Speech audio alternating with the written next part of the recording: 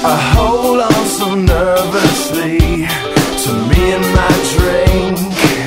I wish it was cool in me, but so far has not been good. It's been shitty, and I feel awkward as I should. This club has got to be most pretentious thing since I thought you and